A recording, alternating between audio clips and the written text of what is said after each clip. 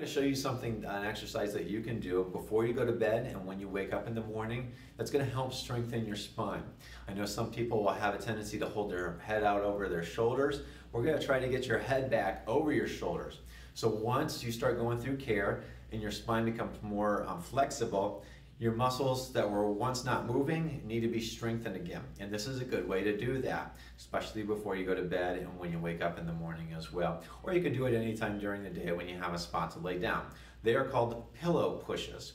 So you just really simply, you're gonna lay on your back, supported by a, a small pillow, not a big thick pillow, but a small pillow. You're gonna tuck your chin.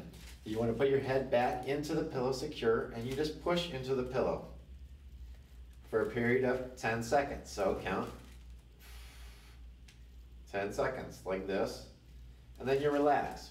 And you do it again another 10 seconds until you do it for three sets of 10. So you want to do that three times, counting to 10. And again, once you, uh, this should not cause any uh, sharp pains, or if it's really starting to get worse as you progress, just stop and let me know. Again, if you do have any questions, if you want to make sure you're doing this right, please bring this up to me when you come into the office or uh, give us a call. We'd be happy to uh, address any questions then.